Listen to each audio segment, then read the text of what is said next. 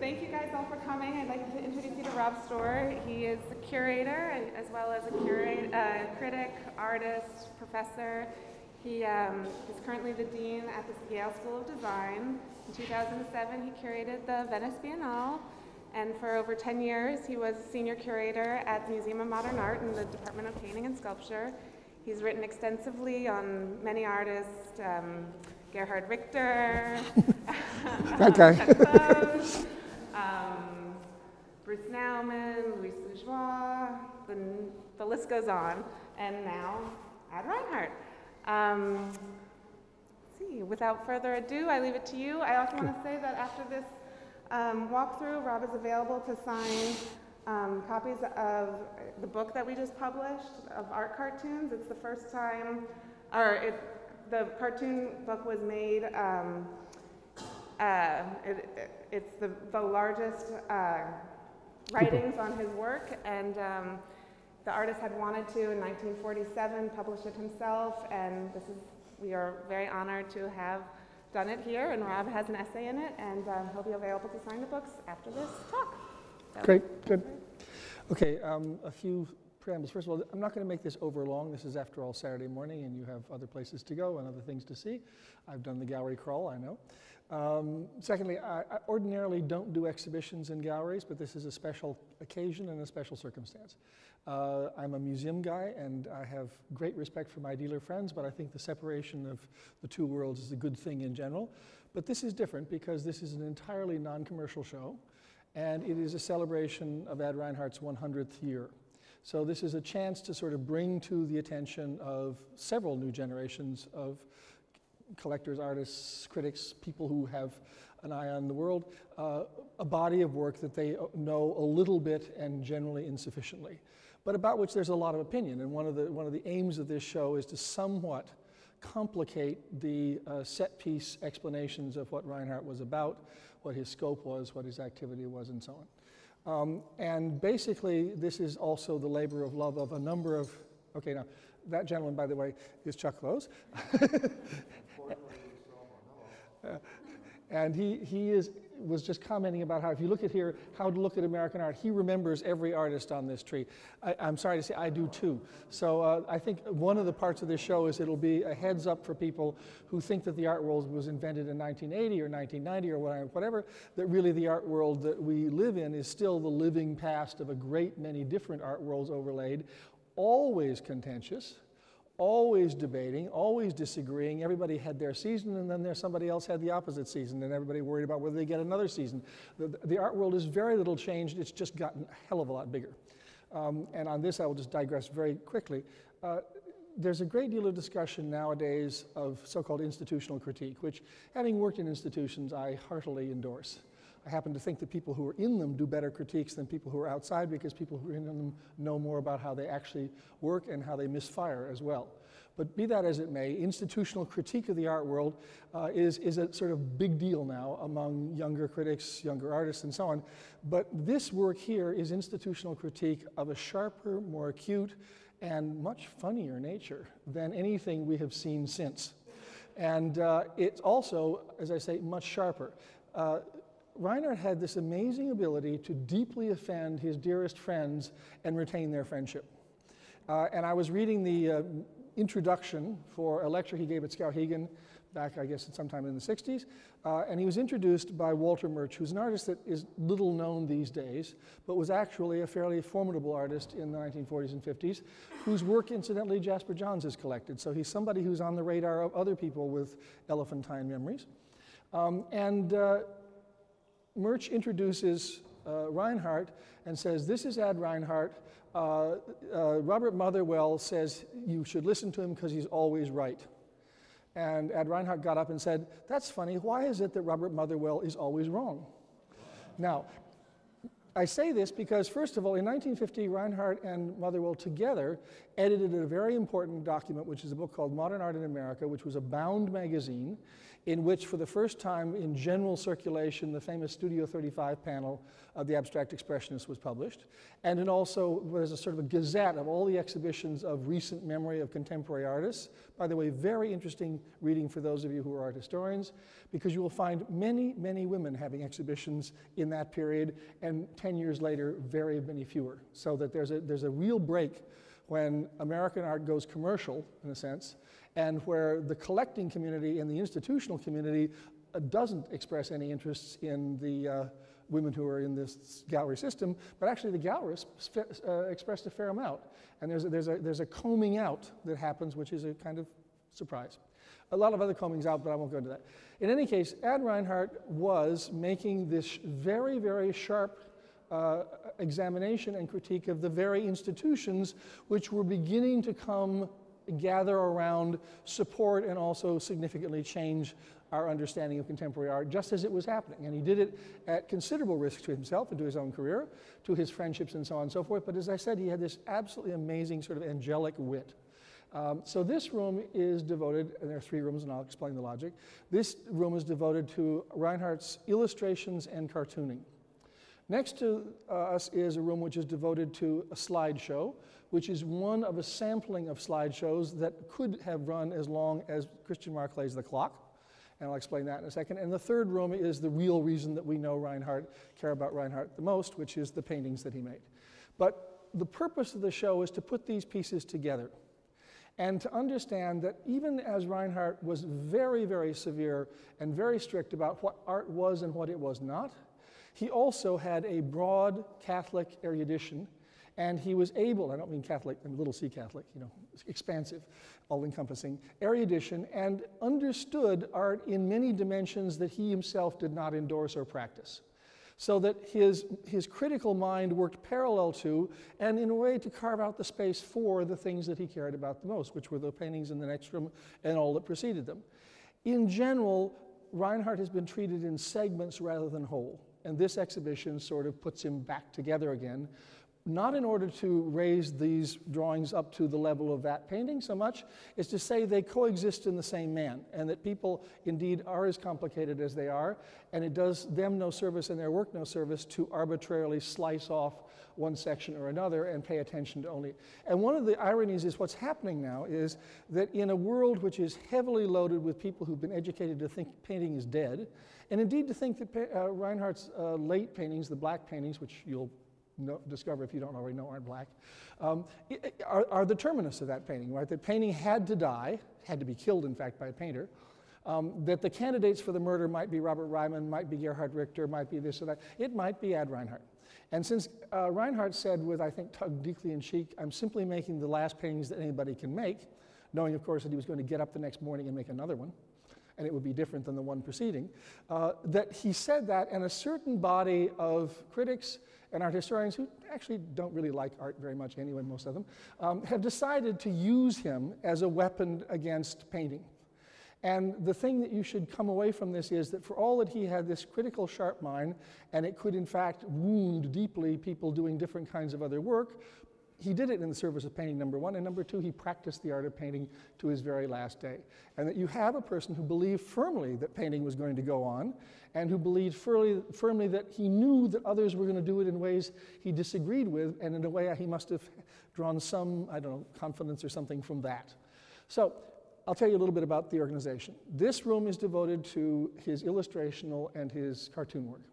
Um, very little of this work has been seen in the flesh. Uh, never before has as much of it been seen of all kinds. This side of the room is the part that's better known. This, these are the so-called art cartoons, most of which were published in PM. In, these are the uh, tear sheets from PM, or were published, which was a left-wing, believe it or not, a left-wing tabloid newspaper. And by the way, when Irving Sandler wrote for it, the New York Post was a center left tabloid newspaper. So the age of uh, Rupert Murdoch has changed our map considerably.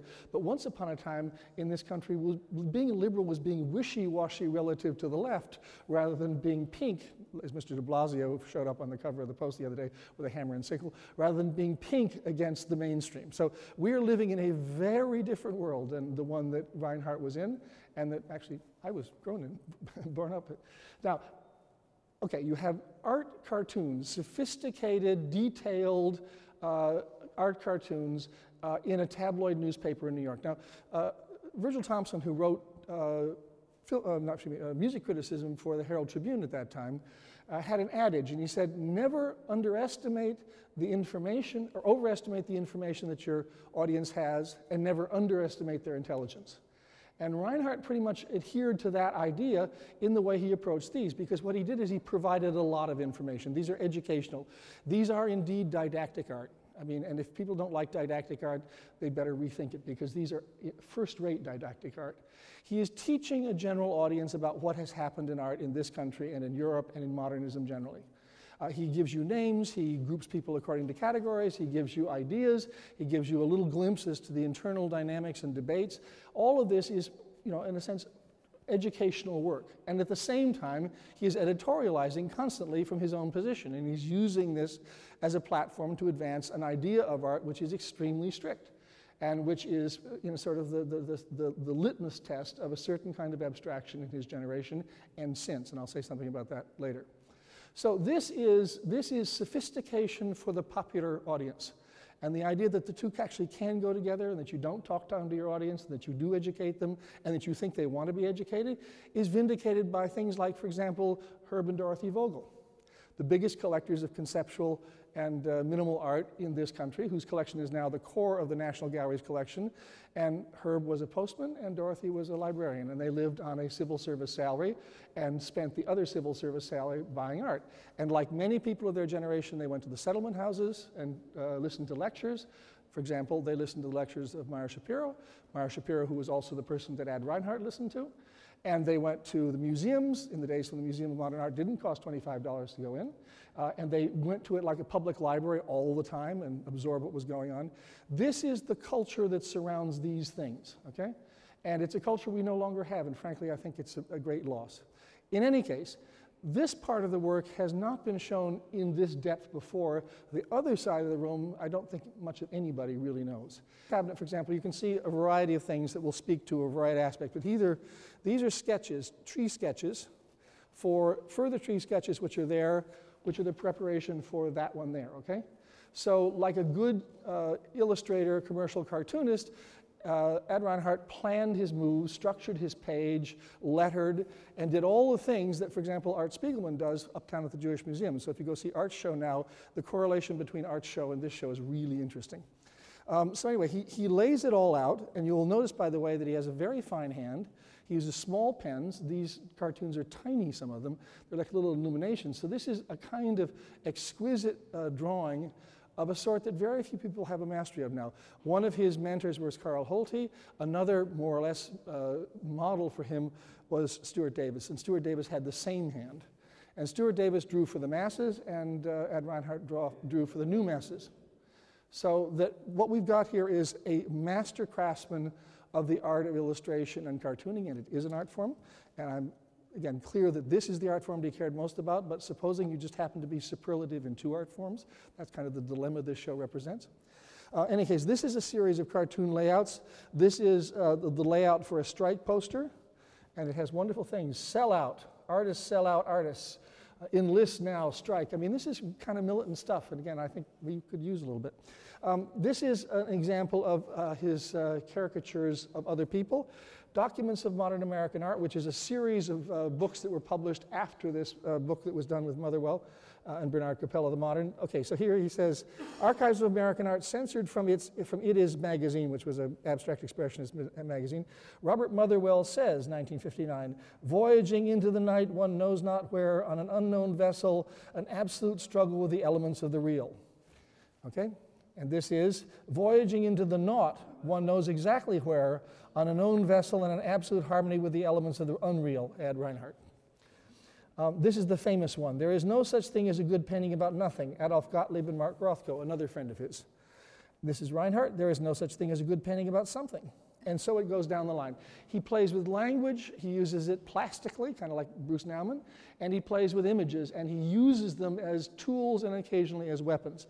These are notes from uh, travels, and these are also notes from travels. He traveled a great deal, uh, and I will get to that in a second. But for example, these are just notes on the resistors and pylons of electrical lines along railroad tracks in Europe. And you can see it's a whole taxonomy of forms. It's beautifully done. These are notes, lecture notes on uh, a variety of topics, and the top one here is Religion Begins Where Theory Ends. This is something the theoreticians of our day should remember.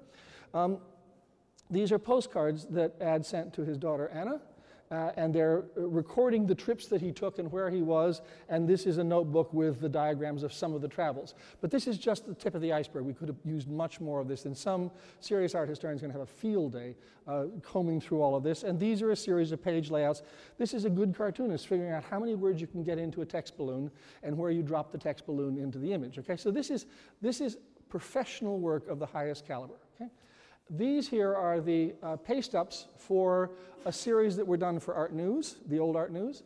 Uh, and there are many of the same cartoons, and they involve uh, appropriated texts and made texts and appropriated images and made images and a lifetime supply of whiteout, which those of you who ever typed will know what that is. Uh, in any case, you can see a whole lot of things. This is a quotation directly from Dürer, as is this. This is a quotation from Jacques Callot, the French Baroque printmaker. This is a quotation from Hogarth. And all the way through these things, you see him combing the visual literature, if you will, of caricature in the grand epics of caricature, which really were the Baroque, well, it was eight, you know, sort of 17th through the 19th century. And he, he lifts them out and plugs them in and he adds text. And this, for example, um, Museum of Middlebrow Art, Alfred Barbecue, House of Fame, uh, Ruth Miller, Art Rags to Riches, 200,000 uh, percent increase in business value and so on down. Now, this was not done by some kid fresh out of the Whitney program, right? Uh, and this was not done by somebody who has tenure at Yale. This was done by an artist in the mix of all of this, and he was, uh, he was really playing with fire. But they're wonderfully sort of tonic correctives. And so this is our favorites. This is based on a competition, not a competition, but an event where critics were asked who their favorite artists were, and he then played with the critics and their choices. And again, some of the barbs are pretty sharp. Bagels and Louchheim without a piece of salami. Okay, Louchheim was a critic for the New York Times. Bagels are bagels and lox, we know. And Salemme was a uh, surrealist painter who was an inspiration actually to Louise Bourgeois. Um, exhibition at Wildenstein, that's a name that rings a bell, um, and so on down the line. All of these things are in jokes that then become general jokes because, as I said, the purpose was to educate his, his audience. Now, on this side, you get what precedes it, starting with the humble beginnings of being a college cut up, right? Literally.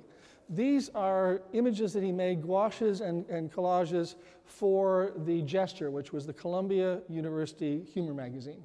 Uh, it would be working like working for the Harvard Lampoon and then going to Saturday Night Live or something like that, or Second City. I mean, that's, that's the sort of the, the, the origins of this. Uh, adolescent to young man humor, but also reminders that he was involved in a, a, world which was as much in turmoil as ours. This is a lynching in the South.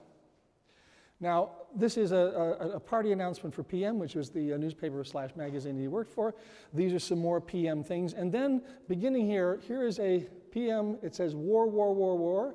Here are a series of these things without the PM sort of premonitions of that room. And lurking underneath them are Hitler, Tojo, and Mussolini. All of this stuff is being done in the advent of the Second World War. And from here until pretty much the next corner, you see what America looked like through a somewhat whimsical lens when the world, in fact, was going to hell. Uh, and you see it from the point of view of somebody who's on the political left. He was never a Communist Party member. He was not an affiliated person. He was too much of the independent in all respects to do that. But he did, in fact, publish his drawings in New Masses, which was a more or less Stalinist magazine. He published them in PM, which was a uh, left wing newspaper, albeit one financed by the uh, Marshall Field Company, uh, or the- Marshall Field heir in Chicago, and coming from Chicago, and anybody else who comes from Chicago knows that Marshall Field was incredibly right-wing.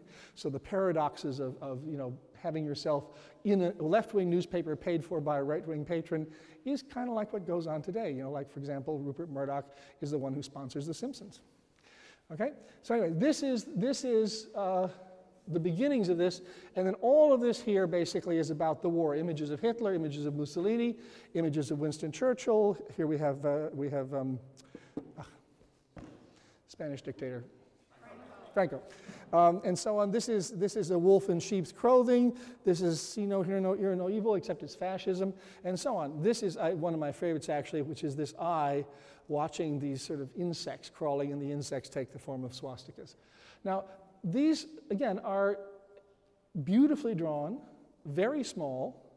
Uh, they're the uh, antithesis of the rhetorical version of some of the same ideas that you find in post office murals, that you find in poster work at this time, and so on. There's a delicacy and a refinement to these things that is an interesting uh, tension with, with their political message, which is pretty standard left wing stuff of the time. On the other hand, pretty standard left wing stuff at the time was better than most of what else was being said at the time. So you see somebody working out a complex relationship to public politics in a, in a highly personalized form. And so it goes. This is the war effort, his own military service in the Navy, I mean, they're invoked, they're not exactly depicted. This is Dewey, this is Roosevelt. So, this is a bit of a left wing challenge to Roosevelt, um, something one might have now of Obama, for example.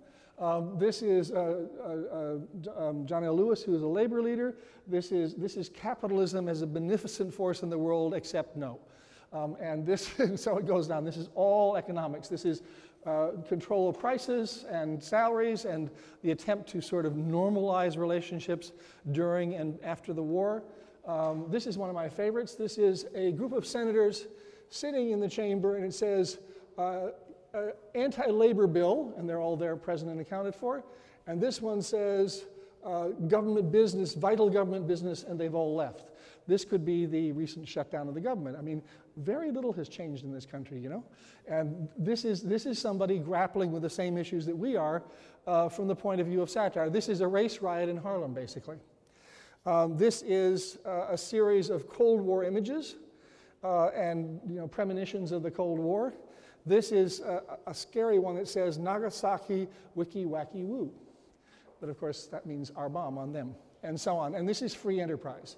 Anybody, again, who uh, you know, takes a, a, completely sort of a Laffer curve, laissez-faire version of capitalism should remember that you get a hangover eventually.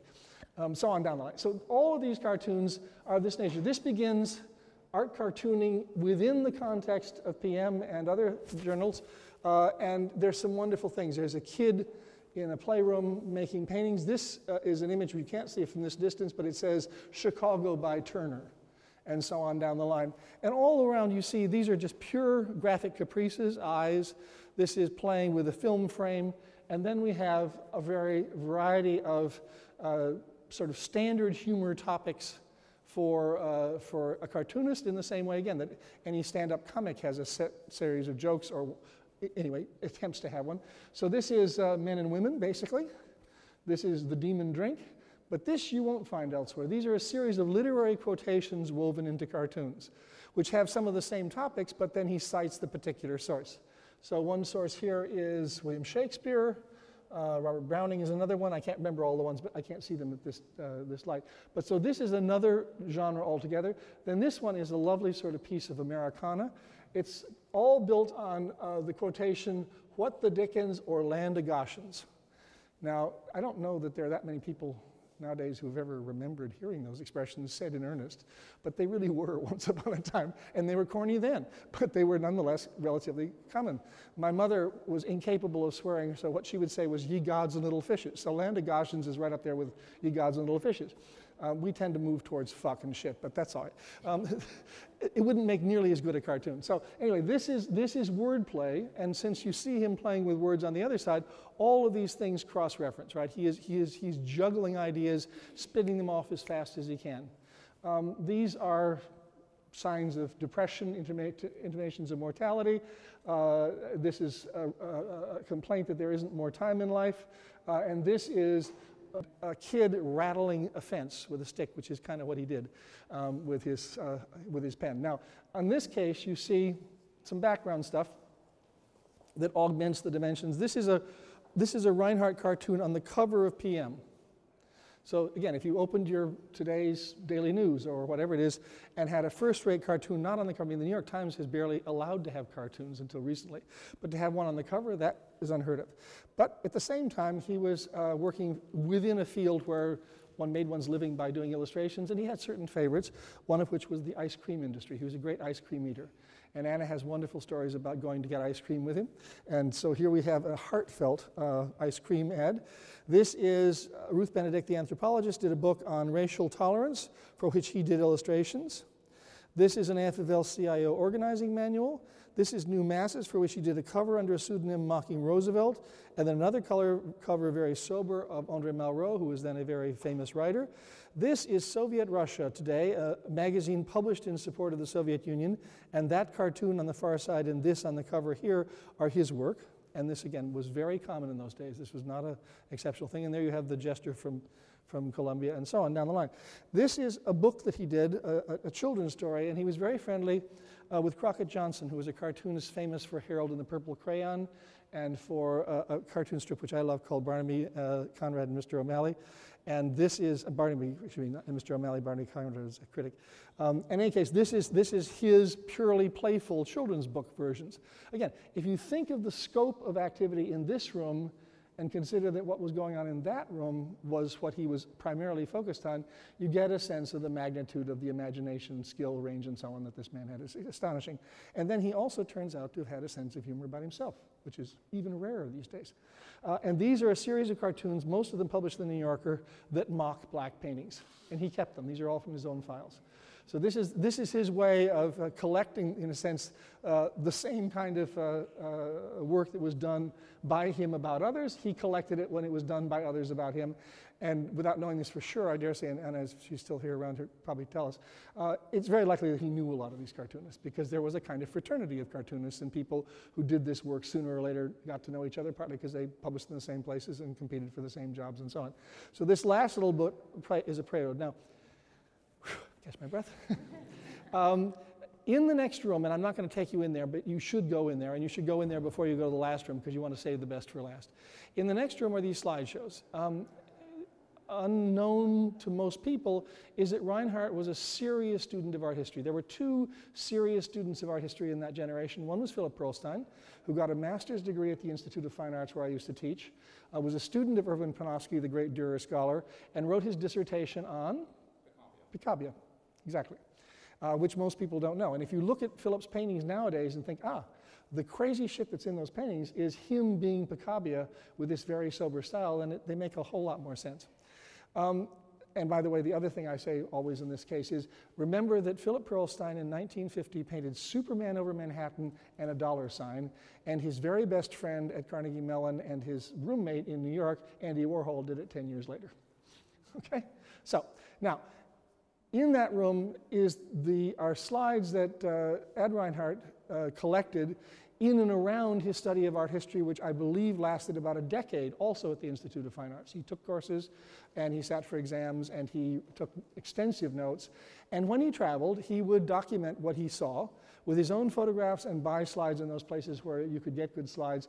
And he put them together in slideshows. And Anna's wonderful. She talks about how she saw him do this, where he would just click off the slides, say very, very, very little, and let the juxtapositions of morphological similarities and cultural differences play off each other in the imagination, the critical imagination of the people who were seeing them. And the people who were seeing them were his fellow abstract expressionists at the club. They were students of art history. There were students uh, of art classes at uh, Brooklyn College where he taught. And by the way, there was a moment when Ad Reinhardt, Mark Rothko, Louise Bourgeois, and Philip Pearlstein all taught at Brooklyn College. Um, anyway, so these were a thinking device, they were a recording device, they were a critical device, and they were proof again of this incredibly broad education and in depth education. He knew many, many cultures. His primary concerns actually were Asian. Uh, he was a real expert in both Islamic and Buddhist art, uh, and there are slideshows that reflect that. Partly because Islamic art is iconoclastic, there are, there's no mimesis, and because Buddhist art represents this kind of transcendence of worldly entanglements, which was one of his principal concerns. Uh, so that you see in these slides all of that, plus uh, a little slap and tickle, uh, a little humor, a little this and that. There's, there's wonderful wit, and as uh, somebody looking at them uh, the other day was said, you know, every time you change categories, you change on a joke, a visual joke of some kind.